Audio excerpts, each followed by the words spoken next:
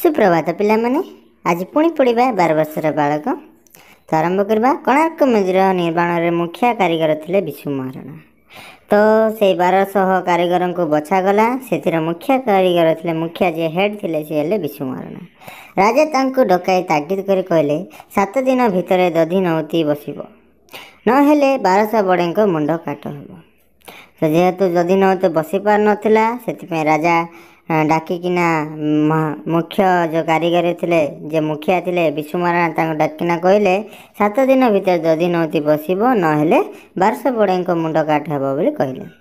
ରାଜାଙ୍କ ଆଦେଶରେ ସମସ୍ତଙ୍କ ମନ ଦୁଃଖ ହେଲା। ନିହାତି କଥା ମନ ଦୁଃଖ ହେବ। ଯେହେତୁ ସା- ଦଧି ନଉତି ବସି ପାରୁନାହିଁ ସେଥିପାଇଁ ସମସ୍ତଙ୍କ ମନ ଦୁଃଖ ହେବ। ଯଦି ମୁଣ୍ଡ କାଟିଦେବେ ରାଜା। ସେଥିପାଇଁ ସମସ୍ତେ ଚିନ୍ତିତ ହେଲେ। ସମାଧାନ ଉପାୟ କ'ଣ ଅଛି? ସମସ୍ତେ ମୁଣ୍ଡ ପୋତି ବସିଲେ। ସମାଧାନ ଖୋଜି ବସିଲେ ସେମାନେ କ'ଣ କରିବା କ'ଣ ନାହିଁ ବୋଲି। ଦଧି ନଉତି ବସି ପାରୁନ ପାରିଲେ ମୁଣ୍ଡ କାଟ ହେବ। ବାର ବର୍ଷର ପରିଶ୍ରମ ନଷ୍ଟ ହେବ। ନିହାତି କଥା।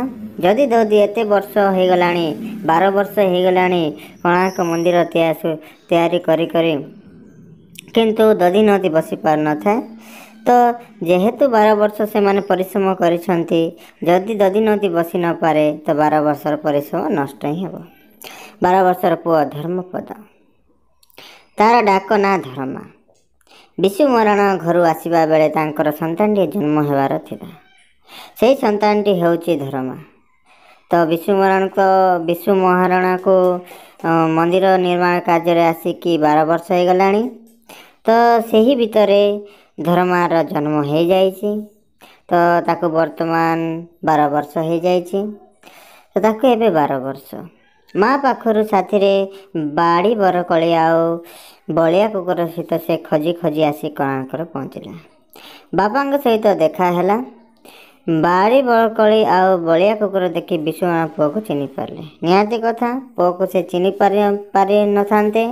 କାହିଁକିନା ସେ ଯେହେତୁ ବାର ବର୍ଷ ହେଇଗଲାଣି ମନ୍ଦିର ନିର୍ମାଣ କାର୍ଯ୍ୟରେ ନିଜକୁ ନିୟୋଜିତ କରିଛନ୍ତି।